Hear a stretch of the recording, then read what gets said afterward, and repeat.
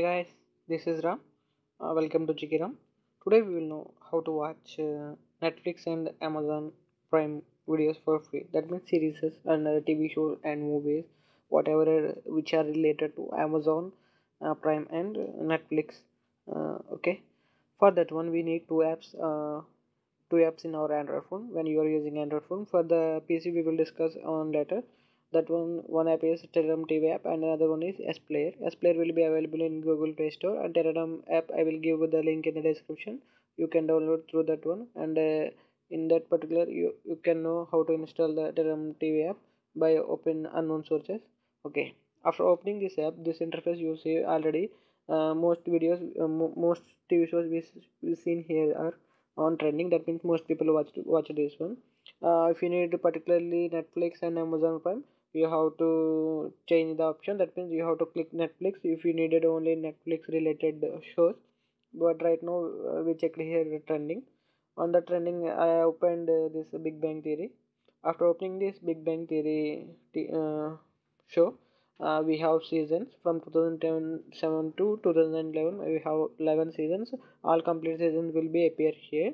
On that if you need particular season you just click that season. Right now i click season 1 after clicking that season 1 uh, the interface will be open like this. And uh, in season 1 we have i think approximately 11 episodes or uh, 14 uh, i think around 17 episodes are there.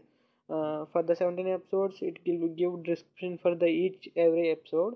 And then later on if you need to play that particular episode you just scroll that one and uh, after scrolling that you have seen the here one icon is blinking with play button. You just click that one and it will navigate to some other thing and it will give the external links which are available to the to play that show. And uh, which quality also if you want to show. right now you can see 240p and 360p i just now want to play 240p ratio videos because it is very less so i think it will be possible to easily play.